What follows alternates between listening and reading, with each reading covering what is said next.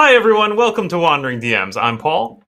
And I'm Dan, and on today's episode, we have a very special guest, Mr. Griffith Morgan III, who's the head of the Secrets of Blackmoor project. He likes to keep things secret uh, until just the right time. Uh, and he's here today to talk about the next printing of The Lost Dungeons of Tonisborg by famed Blackmoor player Greg Svenson. And uh, you're seeing, what we all have copies, we all have hardcover copies of this gorgeous, uh, this gorgeous initial printing, which is, which is currently out of print.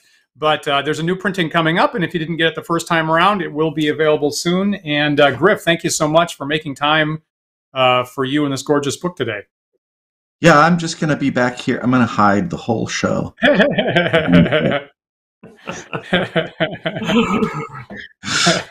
we have um, a number of creators who like to be very private about that, so we respect that.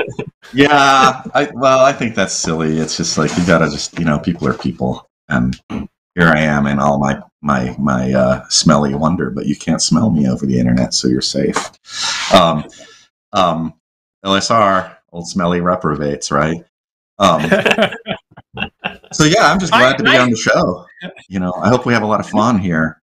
Um, I'm really great. proud of this book. You know, I'm glad you guys. Um, you know, I sent you guys copies like what a year ago. I sent you guys yep, copies yep. when nobody cared and they weren't worth anything. Um, one of those sold for over five hundred dollars on eBay now. So you've got like between the two of you, wow. like over a thousand dollars in your hands, and uh, those amazing. are beautiful, actually. Probably the best gift anyone has ever sent the Wandering DMs. If anybody wants to try to top well, that, feel free. But I don't. I think you're gonna have a hard time, frankly. yeah, well, it's just like you know, it wasn't it wasn't planned as a as a tiny printing. These are these are small printing too. Um, um, but it just ended up that way. So they're kind of a rarity that people want to have, you know. Um, so yeah, what did you want to talk about? Anything particular? I mean, you guys read well, the book. Is me- there anything that sticks out? Well, you know, we had, um, uh, you know, we had we had in the spring we had Dan Bog Dan Boggs uh, who wrote the uh, the rule set at the mm-hmm. back of this. So you can play the whole game, even if you never had D and D or anything like that plus Greg Svenson, who wrote the original adventure, of course. So that was a very right. interesting chat. So you told us that um, there's a new Kickstarter that you're about to uh, launch. Is that right? Yeah. Is that going to be like this week or, or soon after that? You know, we're hoping this week. Um, there's a whole process you have to go to. Anybody that through anybody that's done a Kickstarter knows that you have to get it approved, and however busy they are leads to some delay there. But um, the last thing we're working on, we're going to do, we weren't sure about it, but uh, we thought we'd try doing a conversion for the dungeon level keys to 5e just because so many people play 5e. And maybe I'm thinking of putting a guide in there of what 5e rules to not use. Um, so, like extended rests and uh, what are the other ones? Just, you know, try to avoid all the die rolls, try to role play it all interact with the environment and the, you know in the in the full role playing experience, which is not just play acting. Role playing is is you being immersed in a in a in a in a fantasy where you can use all your senses to experience what your what is around you by based on what the DM tells you, and uh, and then what you say is what you do. You know, um, I mean, we all know that, but uh, I think that's a different. I think that 5e is not being played in the traditional way, and so I think people need to. Hopefully, this will be a good guide for them to get back to playing in a traditional manner. I can see a lot of tension there between, uh, you know, current fifth edition or shortly sixth edition rules, um, and you know, an adventure that was really written. Uh, I think you know before D and D was published, even initially. I think he was looking at like yeah. Greg was looking at a draft document before D and D was on the market he and probably had a draft. D and D was released. I always forget. It was like May of '74 or something like that, or maybe it was earlier. I don't know, but um, I'm not like a date a date freak, and you know I don't care. It happened. All I care is that it happened, and, and the ideas behind something happening or what's relevant to me.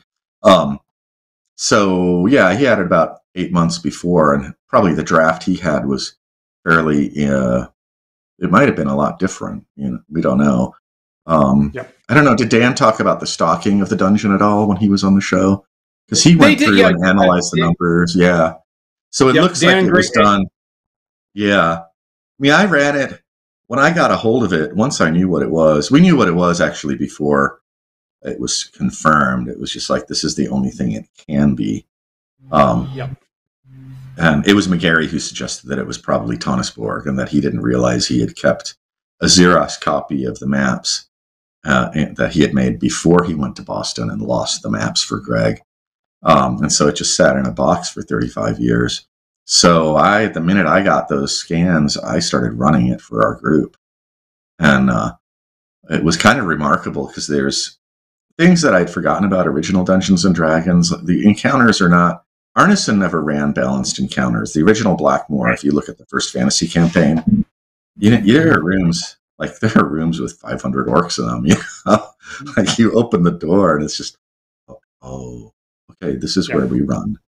Drop everything, move, leave treasure, leave everything of value, just lighten up and move. and um, uh, anyway, so the the original D and D had the com- the encounter charts. It were sort of uh, double charts. You'd use them for placing monsters randomly, and you'd use them for random encounters. And um, and most people didn't use. I, I you know I would just look at it and go like, you know, this room is a temple. I think this should be here, and I would take something off of the first level. Um, or something that seemed balanced, or something on the third a third level monster and not as many, so it was a balanced sort of balanced encounter for my players. Um, but the original rules, you had to you'd roll a die first to see what level of monster you got, and it was always the level you were on or worse. It never was easier. and uh, Yeah, yeah, that's true.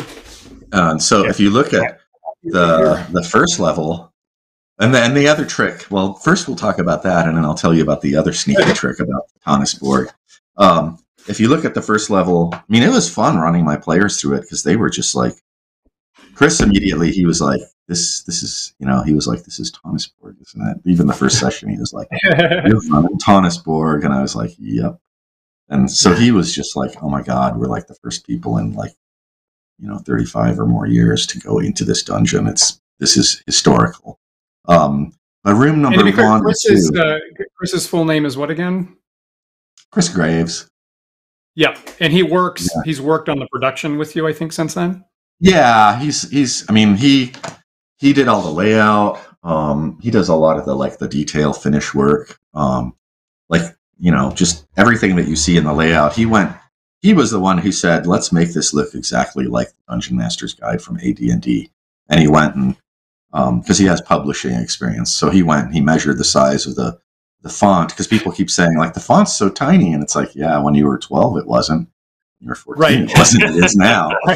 Um, oh no but yeah like um here let me find a page with that first since we're talking about it i mean Yep. these charts here uh boop, boop, boop. are there charts there charts. yeah somewhere Yeah, there are charts okay yeah but you see those charts those anybody who played ad&d is like wait a minute that looks like tsr product and so the the format is exactly the format of the the DMG.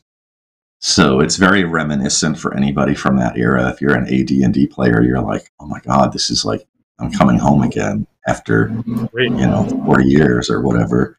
Um, but the cool thing is that if you go to uh, the first level, I mean, you guys have your books there. Pop those books open and look at that first level map. Um, it, there's a, a rooms one and two, numbered one and two. Uh, room number one, I believe it is, has whites in it, and then and the room next door to it. And I so I think that Greg was rolling up monsters, but I also think he was placing them in in sort of reasonable relationships. You know, like people have commented that the book, the dungeon, seems chaotic and random, and it's like no. Room number one has wraiths in it, and next and next door, um, what is it? Room or room number two? I mean, Mhm. room number one room number one has um some uh a theurgist Yep. and uh, Magic user, and his henchman yeah magic user. So clearly there's some relationship between these evil creatures like the you know the the the the wraiths have a relationship there. Even though they're evil wraiths they've met this evil magic user and his henchmen and they're kind of teaming up because they're right you know there's no way they could exist together right And um, Dan, I, I think uh, I think we were just talking about this in our last episode about slimes. Was it not Yeah. Greg who told us the story of like the first ever encounter in Yeah. uh, Blackmoor No. was a bunch Yeah. of first levels against a black pudding, which is yeah, just, great pudding back then. Yeah. Yeah. great which is pudding. among the worst As monsters in, in classic D and D. It's it still is. Yeah, or maybe and it's. I mean, are any monsters evil in Five E? I have to mock Five E. It's just so nerfed. You know, it's like how can you feel scared and engaged when you just go think, okay, next encounter. You know, if if I recall correctly, I mean, so I looked this up for our, our show about that, and to my to my surprise, the thing that they did with Black Pudding is that, uh, of course, we all know that it wants to destroy your equipment and armor, right? That's one of the main things. Right. And so, fifth edition's the first edition where they said, "Yep, wants to destroy your armor, but doesn't have any effect on magic stuff." And I was like, "Boy, right. that's a big that's a big uh, safety bumper there." That was the whole point at one point. Yeah, but it also has a really serious acid-like effect on people.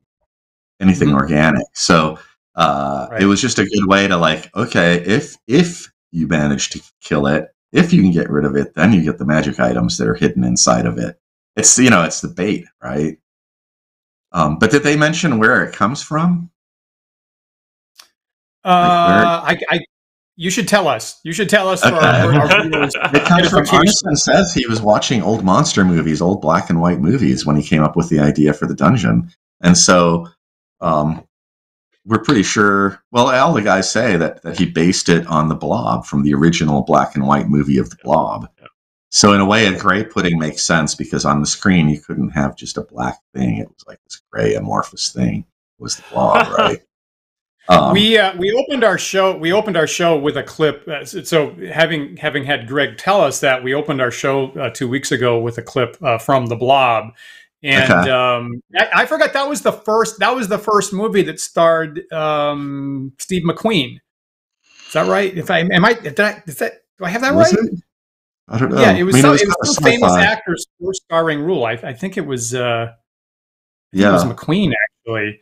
Um, But and that's that's that whole like combo of sci-fi and and fantasy and gothic horror. Yes. You know, uh, um, that's the thing I always emphasize is like you're not running. You know, this isn't just an ordinary place. You're not walking through a hallway in a in an office building.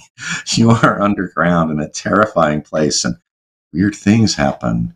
And and uh, uh, you know, you go down the passageway and you're hearing whispering voices and somebody feels something touch their hair and they're you know what is it and you have to part cobwebs and you have to create this environment for your players and get them you know and you ask them for saving throws but there's nothing there. It's just like give me a saving throw and they're like oh you know?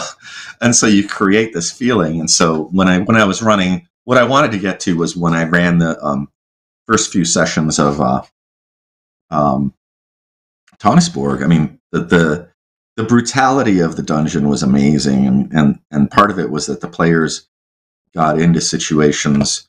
There are toads on the first level, and I didn't know how to, you know, I statted them kind of like AD&D, so they were these four hit dice things, and they move fast and they chomp hard, and uh, they lost so many characters in the toad room in on on level that might be level two but um, on level one, they got to the wraiths, and it was like, okay, let's send the thief down. We'll have the thief listen at the doors. And so the thief listens at the far door and doesn't hear anything because it's undead, right? So then the fighter goes down, and they knock the door open, and suddenly it's like, oh, oh crap, we're first level players. These are wraiths. They're like four hit die monsters. Their chances of hitting us are like, you know, really good. We're done for. So they bolt for it, but they don't, you know, they still get one attack as they're running away, and uh, and the thief got the death touch and just like ding and missed his saving throw and lost his level of experience and and crumpled on the floor, and the fighter was just like, "I'm out of here." Um, and so that I mean that's it was just like epic old D and D where the players go in thinking they're badasses and they open a door and they're like, right. so, and they just, you know, they just fought a bunch of evil high priests, and they were like, oh, they were already thrashed. Like the the adventure, I think, lasted four rooms or something that day. It just happened to work out that way. Um, We we uh, we have that experience a lot, and our friend Max has a good story. Even with the the the keep on, you know, Gygax's keep on the Borderlands, he's had new players, and maybe they've played Fifth Edition before, and they just assume that they can take on anything, you know, in small batches, and they quickly, right. you know, they have their first TPK, and I to for me, I feel like one of the really really great things about watching players learn old school to see them get better real fast they take they take the lesson and then they come in and very rapidly they're much better players and they're more they're more cautious and they're more strategic and they're more cunning and they're more diabolical frankly. And i i personally get my jollies off seeing my players get better real fast because they have to. It makes you play better right? When you when yeah. you realize that you can't just go trumping in there and do whatever and you just like roll the dice and win and you go to the next thing. It's like no you could the whole party could get tpk'd uh, in the first room. My first dungeon DMing experience, I basically TPK'd a party in a room full of giant rats in uh, Zenopus dungeon. They decided to go north, and then they went a little bit west, and they came to the giant rat room, and that was it. I was just rolling so hot, you know. It was just like yep. 18. The fighters, I mean, the AC2 fighters were down, and the rest of the party was like, oh crap, you know. And it was like four giant rats is all. Now, for me in that same dungeon, it was the giant spider. So me running the, the exact okay. same dungeon was my first dungeon, and had a player go into the giant spider room, which which it was actually Gygax who cranked it up compared to what Holmes put in there, and oh, really? wiped out okay. wiped out the party. And there's a right right after that, there's a dead end room. So the one the one character who is still alive says, "I escaped through this out. door." Right, ran right. into the dead end room, and we we we we paused we pa- we we permanently paused the game at that point. So now 40 years later, as far as we know, he's still in there waiting. maybe he didn't, but yeah, yeah, yeah. well, if the spider was already eaten a lot, it might just ignore him. You know, he might have gotten maybe, by if he just waited till it right. got done munching a little bit. Yeah. That's hilarious. I feel like the other thing that happens is when you start as, as as a younger person, when you start out, like it didn't even occur to me to fudge the dice. It was like, here's the rules, and I'm very literal, and bam, bam, yeah. bam, and the whole party goes down, and that's what the book says. And uh, it's it's interesting to over the years to kind of contend with how much you're going to fudge the fudge the dice with. Yeah. So um, I don't know. I mean, it was exciting to be running the dungeon. Um, my party. The other thing was that they sort of lost track. Players get excited when they find stairways. A lot of dungeons are designed uh, sort of in a linear fashion. It's like clear level one, and then there's a stair at the end. and you go down to the next level. It's like a video game. This thing has got uh, stairways everywhere. And if you've got adventurous players like I do, um, they took a stairway from like the second level, I, or no, it was from the first level. I think there's a stairway on the first level that goes down to like the fourth level. Um, yep. And uh, and what's cute about this dungeon is that the actual the main entrance there are a couple entrances, and if you are guided um, to the main entrance, you start on the second level. So your first level players on the second level, so you're already screwed. Right. And then you take right. a stairwell. Uh, they took a stairwell down to the fourth level, and they'd found a magic wand, which I determined was flawed, and so it was like the the wand of I think I told you about the wand of flower balls and and yes. fur balls. Yeah, yes. so they're like, so tell us again. Tell us again. What does that do exactly? Oh, yeah. oh, it's just a wand. Like I gave them a stick, and it said wand of like with a sharpie. I wrote wand of, and then some scribbles like so, and they're so they see it and they're like wand of fireballs, yay! And it's like I roll a die on a one or a two, it's fireballs. Three or four, it's uh, flower balls, just petunias go spraying everywhere. And um, you have to wade through them though. And then the last one is, is fur balls, like a giant. It's like like the wand is like, and it shoots a giant oh. like cat puke. Yeah, it's disgusting. I know it's disgusting. But um, so they were down there and they ran into, they wandered, they took the stairs, and now they, they have no clue they're down on maybe the sixth level of the dungeon or the fourth level. I mean, they're down there, their first levels. And they the first thing they run into is a black pudding. So the wizard's like, I got it taken care of. I got the wand. and he fires petunias all over the, the, the black pudding. And um, all they really did was run away and run back to the stairs and go back up to the, the upper levels at that point because yeah. they were just like like this is a really bad place. Um, but I do a lot Paul, of you maybe- know. Could you pull up the the image, uh, the slice of the sixth level that uh, comes out of sample document? So, Oh, um, yeah. so, this, so this is out of your sample document there, and it's like half of the sixth level there. Hopefully, we're not giving away too many spoilers. Pretty, I'm pretty sure Oh, everybody that fine. watches this show is a DM. Frankly, I so so it's so the players Right, right. probably get inflicted on this by DMs running Tonisborg.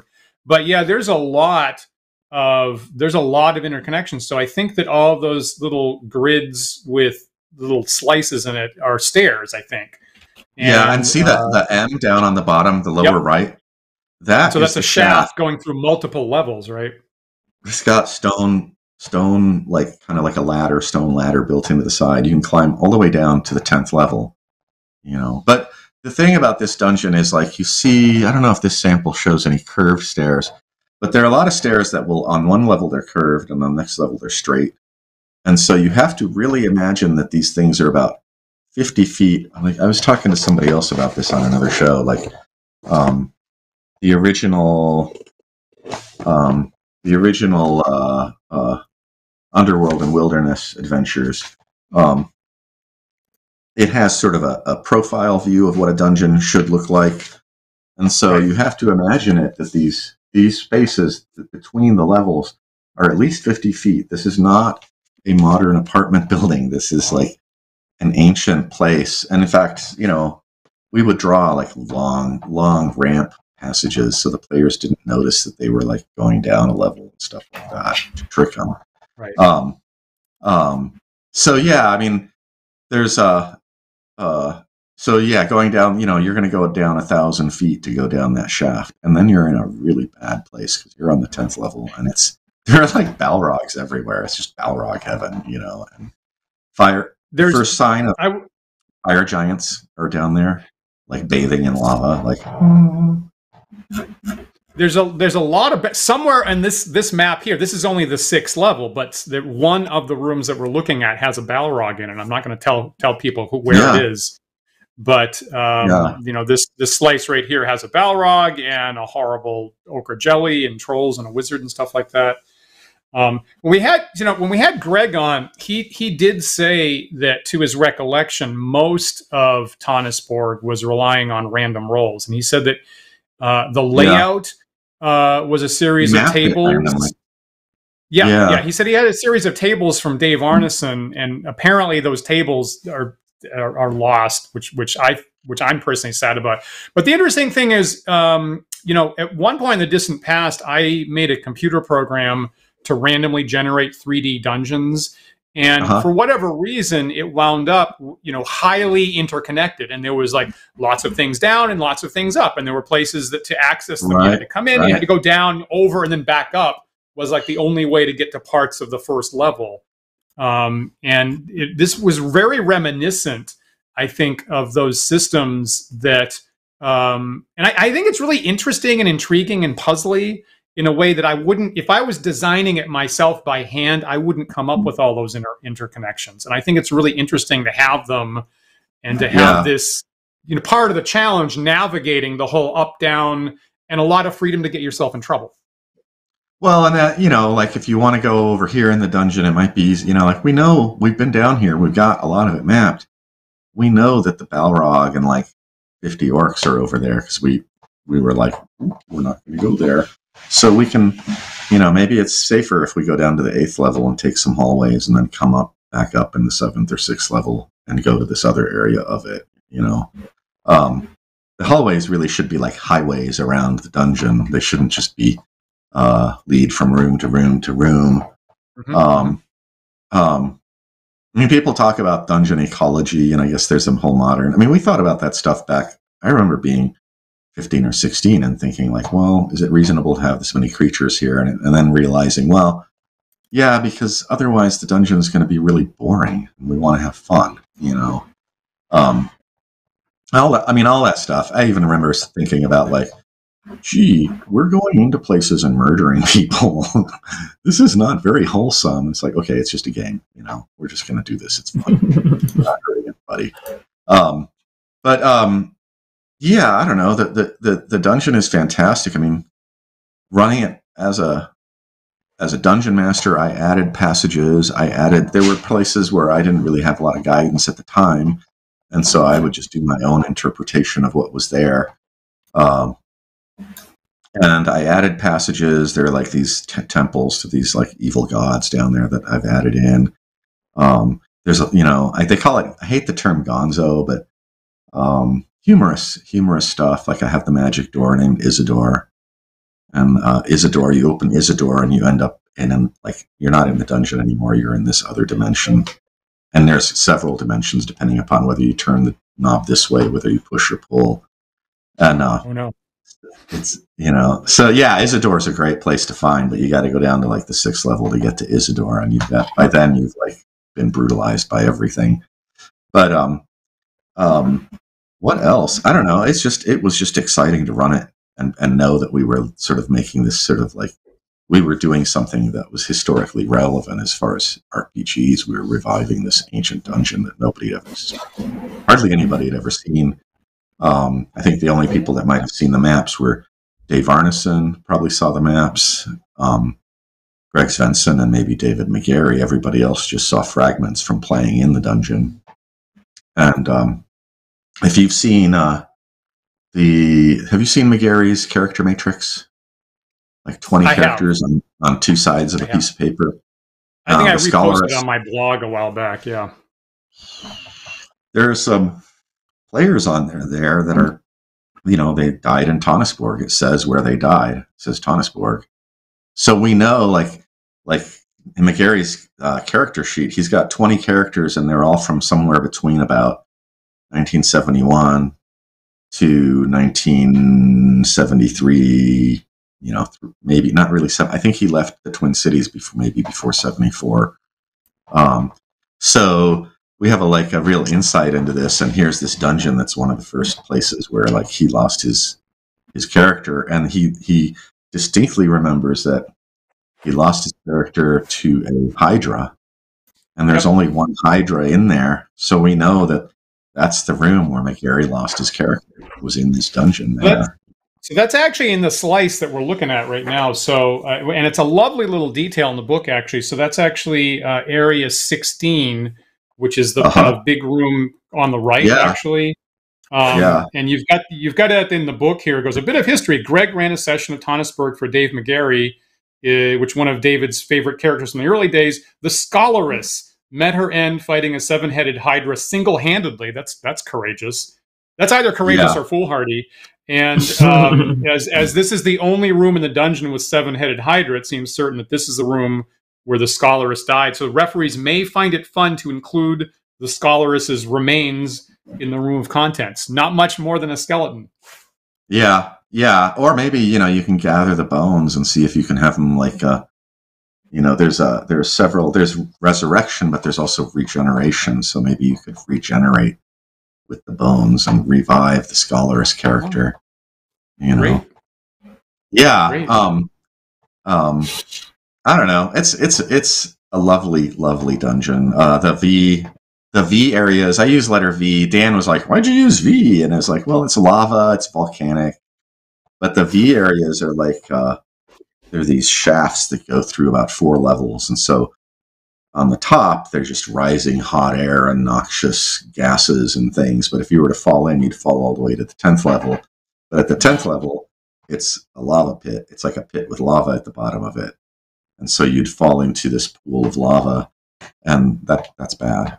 Um and uh, um so they're kind of it's interesting because they're all it's so vertical like that. Um i put encounters a lot of times i put encounters in the stairwells like there'll be something written on the wall or the i even put uh little uh, landings inside the stairwells when i run it so the my players will go down like 20 feet and then they'll come to a landing which is almost like a room and there might be somebody there they encounter or who knows what or a trap or something.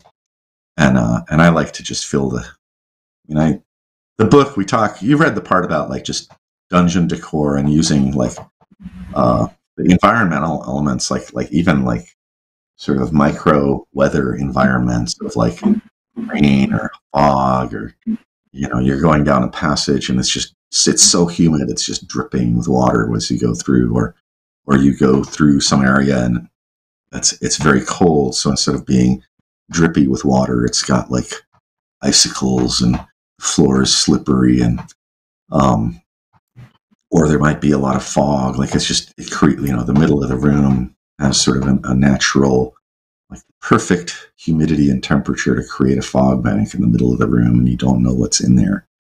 Um, that kind of stuff. Um, we talk a lot about that in the book. Uh, is, is sort of decorating it. Most dungeons, you just look at the map and you can't really know what's there. And so we talk a lot about we don't know what was there. Aside from Greg's notes, I think if you look at the uh, the map levels, his original maps, they might say like there's on level one, there's one area and it says wet area, and it's where the there are some toads, I think, down that secret passage. Um, and so when my players ran into the wet area, yeah, it's level one. When my players ran into the wet area, uh, which is room number four, I described how there were mushrooms growing all over the walls, and some of them were essent. And and uh, Chris's character, like, hmm, these might be useful. I'm a wizard, right? So he picked a bunch of mushrooms in the first hallway and uh, stashed them, thinking they might use them. You know, he might use them to make potions or cast spells or something. You don't know. Something I'd have to think of later with him. But right, um, totally. um, but there's nothing in there to say that, right? It's just like that's that's what the DM does is you add you add to the experience. Um, anyway, going Very, right. very improvisation. It can be a very improvisational uh, yeah. I mean, you, you know, you slow down to look at your environment. It's not like you're just marching through. Like we kill the thing, we go through the next thing. You know, um, very. It's uh, the, the you have to create that sense of exploration, and you have to slow players down and make them aware that there could be traps anywhere. That's the other thing I add in is is traps in places that aren't on the maps and things like that. Um, my bad guys are really partial to taking uh, humans that they capture and flaying them and creating just curtains that they hang in the hallways made out of human flesh with faces and hands and stuff sewn into them. And that's always a delightful thing to just creep out your players with. Um, and it also creates a barrier you can't see through. So it's like at the 10 foot pole and like, what's back there? You know, something jumps out at you. Um, So this is the point in every episode where Dan points out that D and D is essentially a horror game at its root. That's what I've been Um, telling everybody. I mean, I have a whole blog post about that. You know, D and D is gothic horror, right? It's Yeah. it's Mhm. It's all the things that that go bump in the night and scare you, and um, and then I talk like I don't know that we talk a lot about technique. Like players get used to the things that go bump in the night, so then they learn to like deal with the things in front of them, and it's like yeah, but then you put something in front of them that lures them in, and you have the thing that drops off the ceiling onto their head, you know, or something. Um, and and I don't know. You just uh, the deflection move. You create situations with deflection, so the players have to be more careful. My players, every every door they open, they're like, "Hey, is there anything on the ceiling?"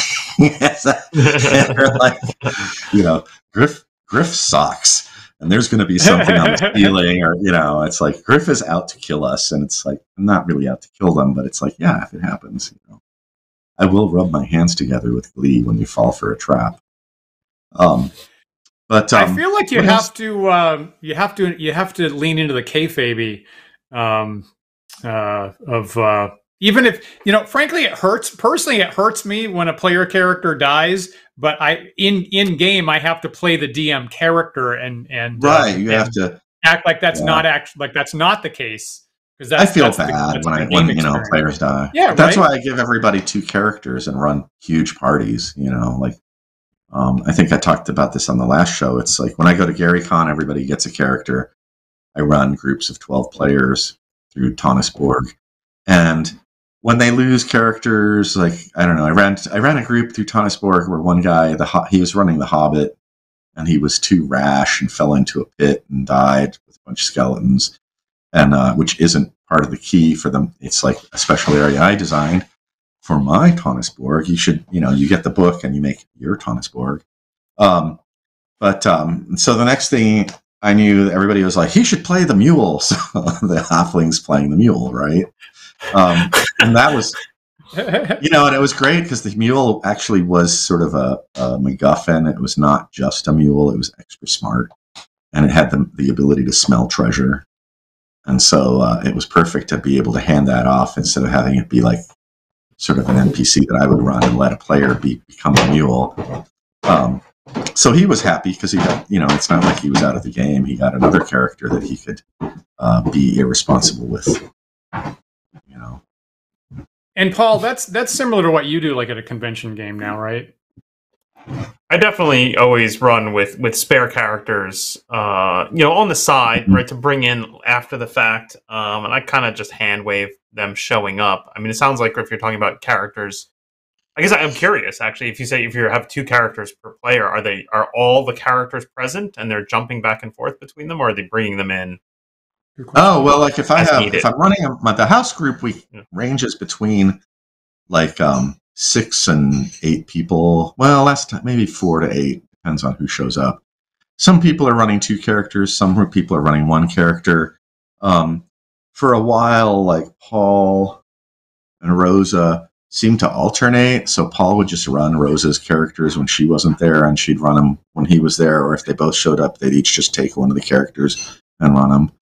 Um, so they, I mean, it's just, you know, we're pretty magnanimous and just like, here, have my character. You can run this, you know, like, I got the magic user. Here's the fighter. You can run the fighter. And then, um, um, like in conventions, I have the mule. You know, there's there are other critters in the party that may not seem like they could be characters, but if we need to have an extra character, there's no reason why the dwarf's pet rat doesn't get to be, you know, somebody doesn't get to be the pet rat if they get killed they don't get you know they can they can still play and inter- you know it's like i mean the rat would be the perfect snoop to like send the rat down the hallway or you know to listen and see if they can find out anything about what's down there and come back and you know and then they can do like you know, you were you were that would be great. You you were talking about traps uh, that you added a second ago, and actually, there's a Yeah. really good um, question by one of our viewers. I'm going to throw up on screen here. So, um, Joshua Macy uh, was asking exactly how do you run the traps. Um, I'm presuming not just save to avoid damage. So, like when a trap springs, do you roll to see if it springs? Because that's in the original book at one point. i usually just- do that Is it just what automatic is damage? Do they get saving throws? Is it ability checks? I like well, like traps spring on a one or a two, right? So on in Mhm. OD and D, um, and so to me that means like if it doesn't spring, like the person maybe didn't step on the, you know, didn't break the trip wire, they didn't step on the tile that triggers it, and so it's like the next person in line. I mean, it's like Right. a lottery, you know, as you go through the passage, who gets the spear through the head. Um, um, I ran a demo and one of the guys caught the spear. Actually, the guy had retired, and so the other players were running his character. And I was like, "Why don't you make his characters go through the door first? And and you know, he got the one to two on the first time through and was impaled on the spear, kind of Indiana Jones style. And um, so yeah, I do that. You know, um, um, I mean, the traps I kind of do. I, I kind of have dialed them back a little bit because I hate killing characters on a trap. So, like on the first and second level, the traps might be half a d6 damage. So, most of the time, you're not um, harming a character.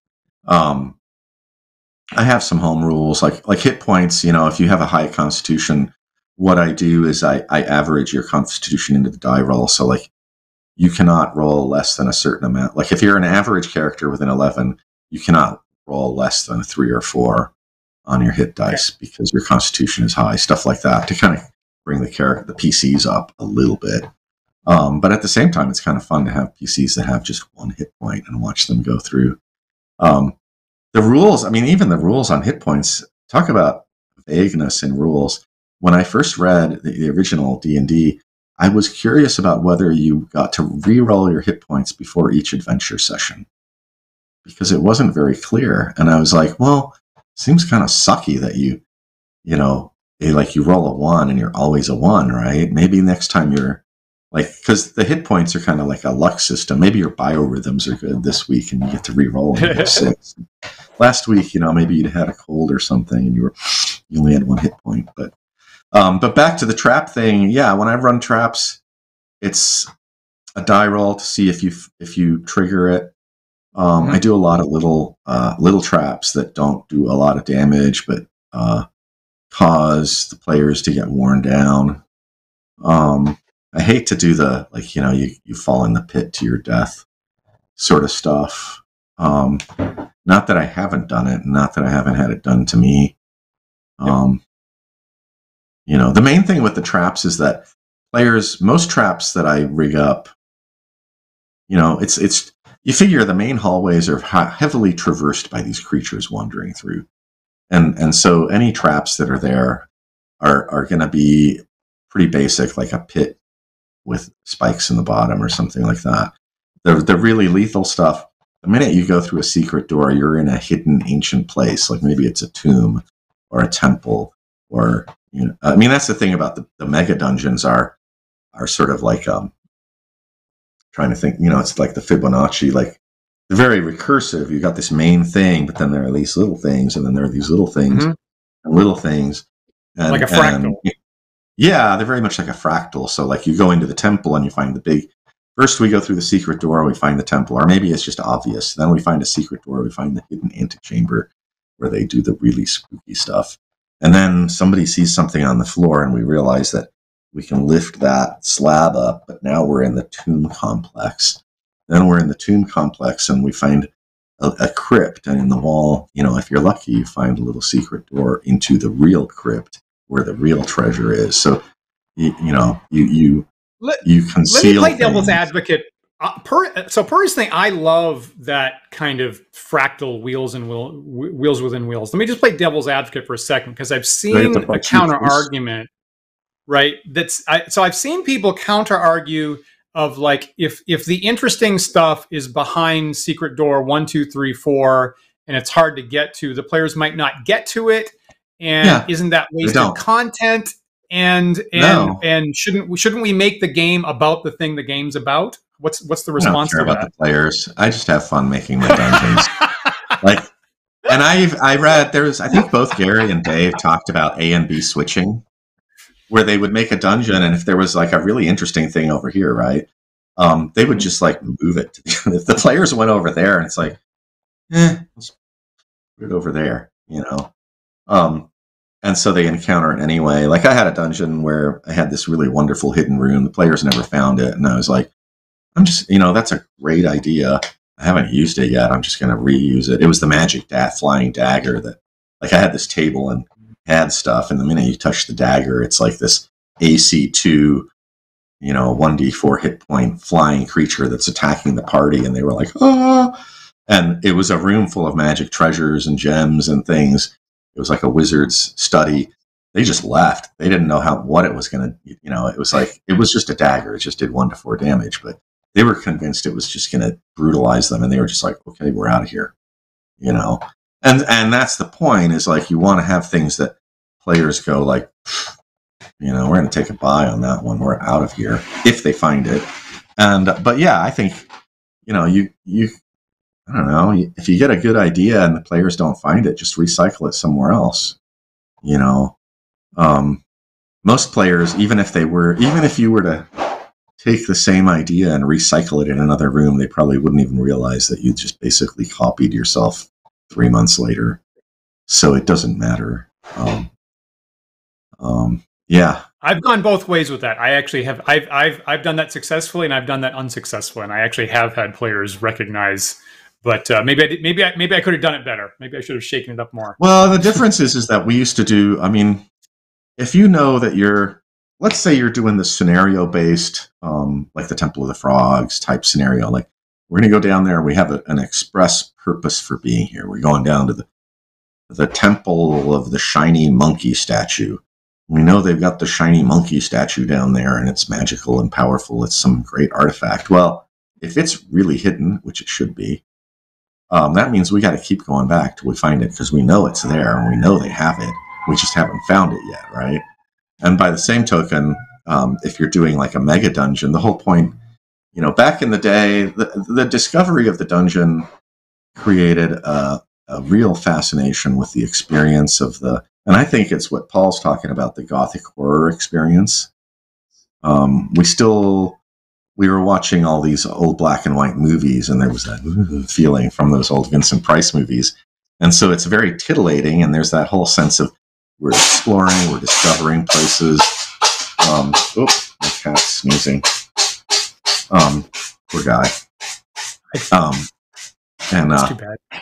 yeah, I don't know how loud it is on camera. It's like it's really loud. It's loud. pretty loud. I, I think we just discovered where the Wanda furballs came from, frankly. Yeah, that's the one with the balls. Yeah, Franco. No, he actually isn't much of a puker. He's more of a sneezer.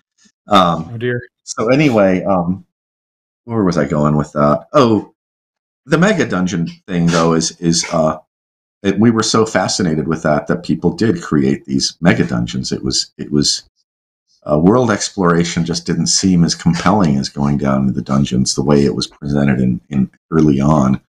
Um, and so every DM had a mega dungeon that they started. I mean, they might have started with just one to three levels. My first dungeon, uh, it ended up being nine levels. It was just like a couple levels at first on a couple scraps of, like I, you know, I just had scraps of uh, graph paper torn out of a book. I didn't think it would go any further than that. Next thing I know, it's like these are the first levels of this mega dungeon that's nine levels levels deep, and I got a card file with cards for every room, with with the descriptions of everything. Um, and so uh, finding secret doors is that that's the other thing about finding secret doors is they sh- players shouldn't always find the secret door because if they're if they're trying to sort of if they're doing like a campaign against the the underworld um, they're going to keep coming back. And so this time maybe they didn't see it but maybe next time you know or another group of adventurers will come across it and find it and explore that area um, I think the concerns around that, around the the the notion of, I mean, I like the idea that the players are going to continue to come back. That like if they're in the Golden Monkey Temple, they know the Golden Monkey's in there somewhere.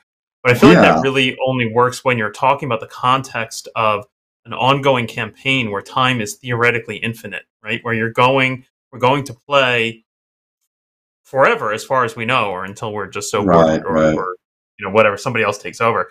And the, the context of that problem really shifts when you start talking about convention games or tournament games or anything where it's time limited, right? Suddenly everybody's very well i think that you have to at the end understand of that your you're one four hour Mhm. session. Yeah, the- the, the the pay, you're talking about them from there. payoffs. I mean, I see people Yeah. talking. I like there are all these new terms that I see. I just was on looking at something on Twitter, and somebody was talking about. They talk about all these story terms, and like we've got to create stories, and we need to make sure the players have this and that, and you know, payoffs. I mean, in screenwriting, they're like payoffs. I think is what they call them. It's like, you know, uh, um, and and I don't think it's relevant. I think that you have a real world setting, and you create these things, and and uh, if they find it, they find it. If they don't, they don't. And, I mean, trying to think. There's a giant oak tree in our neighborhood. Or no, it's not an oak tree. It's a cottonwood. And I was walking over to visit Chris, and one night I came back um, from there, and uh, I spotted this tree, and it, I was just like, "This is gigantic. This is the biggest tree I've ever seen." Right? And it was like this man. I like I found, and then uh, weeks later, I I took my girlfriend to see it, and the lady who lived next door happened to come out her door and she was like that's uh elwood or something like that like the tree has a name she's like he is the tallest tree in denver colorado he's like and she was like 80 years old and she was like i have this photograph of me as a baby my parents are holding me. I'm two years old and he's huge already. Wow. and and uh, um and my so my point with that is that i had walked by that tree a million times and not seen it. And and i just happened to be walking at night and the light was just perfect. I mean it looks like the sort of tree the elves would build their little platforms in and live in. You know the thing is just enormous. And um um and so yeah i mean if you know you create it here and they don't find it they don't find it. I don't care. I, I got so many ideas i mean i got more ideas than i can run my players through you know? Um i mean how many you know how many encounters can your players go through and how many encounters have you created in all your time playing rpgs like how many of them you know do you just i, I think there's a desire to use them up when you're new but when you get older you're like i don't care. I'll just i'll use it with somebody else you know? Um, so I, I am totally against that whole like it's like why even bother having a secret door if you always open the secret door? There's no point to that um, um, which is kind of my big complaint with like 5e perception checks is they've made it too easy to find things. You know you get six players who have really good perception ability they're all rolling together somebody's going to spot the, the Googa. Um, and so um, yeah this you know what's the point it's i, I like the uh, and and this is just a, a, a, a difference in in it's a stylistic difference in how we play in the old way or in the more traditional manner. Um, we like a more uh, we like to gamble. You know, it's like yeah, more of an all or nothing. Sense. We're going to Vegas. You know, the haunted house with the Vegas feeling. I mean, when you nail it, it's like when you run into a bad monster and your odds of hitting it are really bad, but you just nail it and and you hit it for lots of damage. You know, it's just like oh I, I agree that those are the memorable times. The memorable times are yeah. times when something frankly shouldn't have happened and did, and those are the, the those I think for me those are the times that I actually remember. You know, right, so as we get into like the last ten minutes that we have available here, so we got some you know. Good, we, I got uh, hours. Comments. I think you guys are the ones with we, time issues, but yeah, yeah, I, I, I, think you, we know that you have stuff you need to do, Griff. Um, no, no, um, this is it. Like so, you said, are you going to do a show with us? And I was like. I like got my calendar and I blocked out eight hours. I'm gonna be on their show. We're doing a marathon. Well, well, maybe you could join us in the Discord chat perhaps afterwards that we have with our uh, yeah, if I we, can figure um, out how to use Discord, send me a link. I'll join you. Okay, we'll try to. We'll try to make that happen. there anyway. That, it'll explain why, why my Twitter feed goes dead after this. They're all in your Discord chat. Gavin, That's great. Um, so I got um, among the comments I'm looking at. So John Miller is is you know giving high praise to the Tonisborg product, and he's asking. The, the main thing is John's got a comment. I can only see half of it. Unfortunately, he's got a question about Greg using the random uh, generator developed by Arneson. We we touched on that briefly. So John, if you could like write the the the rest of your question again for me to see, maybe we could get that to Griff. But um, uh, uh a, a, little while ago, it's lost. Here, I, I, mean, I know what you're going to say. Arneson made some chart. Say this. Right, right. And Cal so wants to know when Cal. the Kickstarter starts. Um, right. We're about to start it. We just need to iron out one little thing. And we thought we would try doing a 5e expansion for it. So we're waiting for the guy, um, the guy, it's our buddy Bob Welton. He does um, 5e modules and stuff. Um, so we're waiting for Bob to get back to us and let us know sort of the parameters of that before we can submit it for approval. And then once Bob gets back to us and we add that text into the Kickstarter, we're launching it and we're going to go. Um, Great. And at that point, and we're not really on a timeline because you have to submit it for approval. That could be like three days. I don't know. It could be 30 minutes for all I know. They just, um, they have to look at what you're doing to make sure you aren't a bad person. Um, and so, uh, there are a lot of bad people in RPG. Yeah, we're really bad. We like do Kickstarters and we actually fulfill them. Um, there are a lot of people not fulfilling Kickstarters out there, and I'm like, didn't you have a product before you started the thing? It's like, no, we're going to develop it now when we get the money. Yeah. No, yeah. no. We have. And is this one going to be the same uh, design? Is it going to be another hard copy, hardcover printing, or will be soft cover this time? Maybe. We have well, each edition is unique because of like just sourcing problems, right? So the purples, okay. Um, uh, we were going to do all purple. We had to do some teal because we couldn't source fi- uh, fabric for those. Um, so there are some teals also, and then there are black covers. Um, these are the red cover ones that we sold through our website. Um, they were on there for about a year. People had to wait a year to get the printing. Once we got enough orders, we did a printing. And these are different because they have red cover with the gold and they have like 80 pound paper instead of 70 pound paper like yours does. Because we couldn't get 70 pound paper for the life of us. It was just like we're waiting like a month for paper. And finally the printer was like, You want to do so they actually these cost more to, to, to make because the paper was heavier. And they and they're thicker. I mean, I got a well, I don't I got a pile of books here, but it's thicker, you know. And so the next printing, what we're doing is um, we're going to have we we over ordered since we were worried about being able to get more, and so the Kickstarter will have a small supply of. We're going to sell a couple purples at a premium price. So we're going to sell one black cover, which only 20 were made of those, 25 were made of those at an even more premium premium price. And uh, but you'll have we'll also have these red covers as a um, a quick ship. So we've got like about 80 that we can quick ship. So the first 80 people, for the same price as a regular one, you can get a quick ship that's already ready to go. Um, and then the other ones, people will have to just wait till they're fabricated based on orders, and uh, hopefully that'll go on the faster side. Um, we don't know. I mean, we're dealing with with a with an industry that is sort of dying. You know, the the hardbound book, the real the handmade hardbound book industry is dying, um, and and there aren't very many people that can do that. So if we put in like if the Kickstarter is really successful, let's say we do a thousand orders for that, might be a couple months before someone gets their book because we just don't have the people to manufacture these. you know, we don't have a giant assembly line. It's like three people. Um, so, uh, but you know, I mean, I, I don't know. Everybody I talk to when they see this, they're like, "Oh yeah, I've got D and D and Pathfinder books that pretty much exploded a couple months after I got it." And these things right.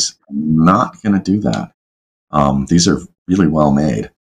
Um, so I mean, I'll let you guys talk about it. I mean, you I got a copy. You you look at it. It's it's a it is a real book. It is not um, uh, print on demand garbage with a cardboard cover.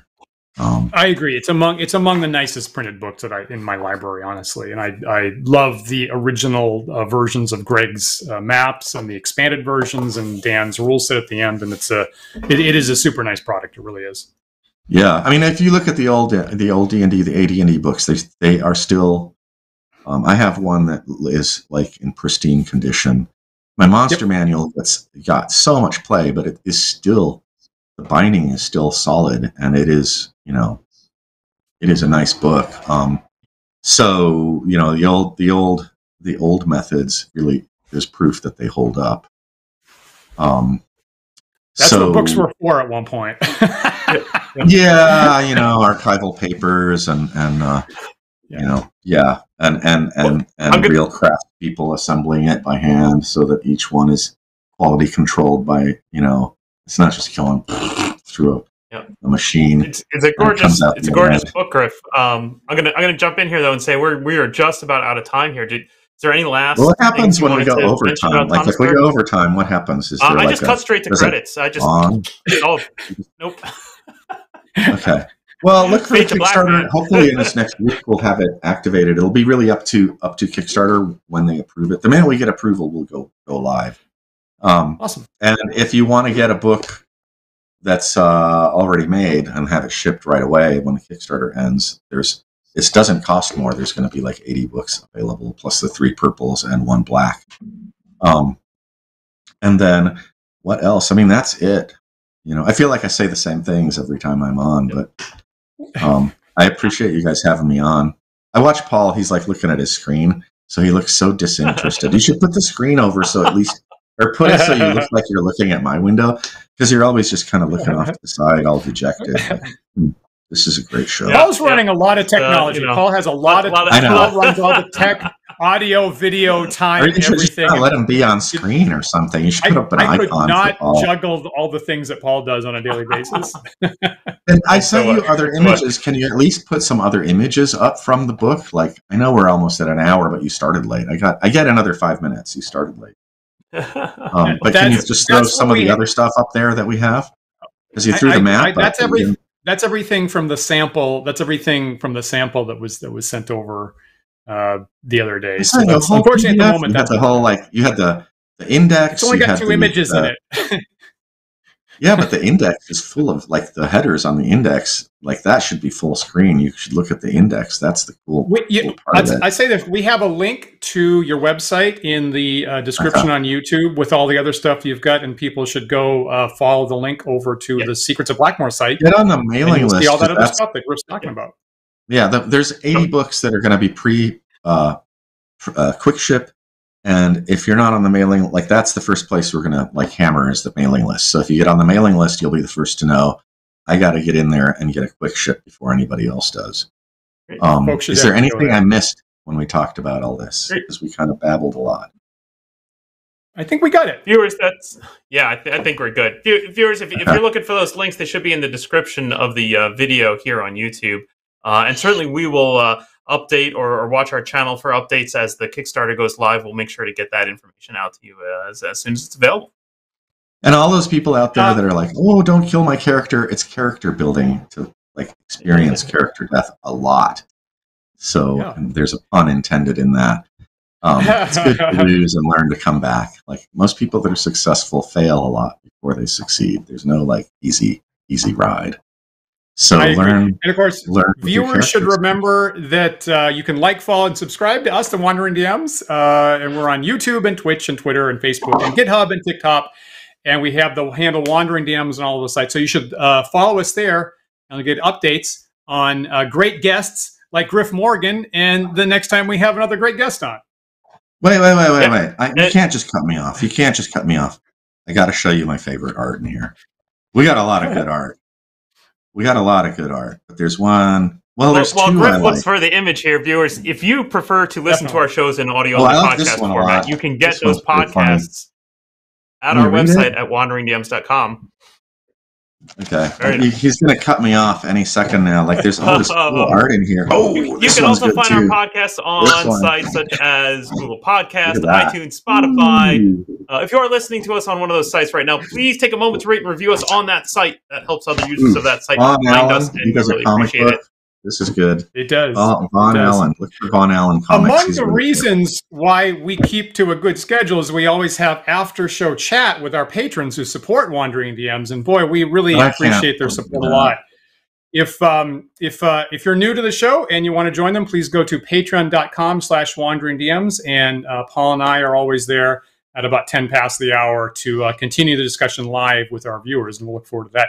You know, other shows coming up this week, actually. Uh, I'm going to be back tomorrow night uh, playing uh, Pool of Radiance, of the Gold Box games, and new show Thursday night, Thursday at 8 p.m. I'm going to be back with Book of War Season 3 for more war game action uh, here in the house with a brand new opponent uh, for Season 3. So, so we, lo- we just like Griff, we all love wargaming. So look for that Thursday night on the Wandering DMs channel. Um, Griff, invite me to the Discord. I'll come. We'll try to make send that happen. All right, we'll try to make that happen. Hopefully, we can rip rope uh, Griff in for uh, for more chat on the Discord. Thank you so much for making time today, Griff. I wish we had more time. No, thanks for having me back. Just an hour. Awesome. How can you get anything done in an hour? It goes real fast. Uh, don't forget, we are live every Sunday at 1 p.m. Eastern Time. So we hope you'll join us again next week for another thought provoking discussion. We'll see you then.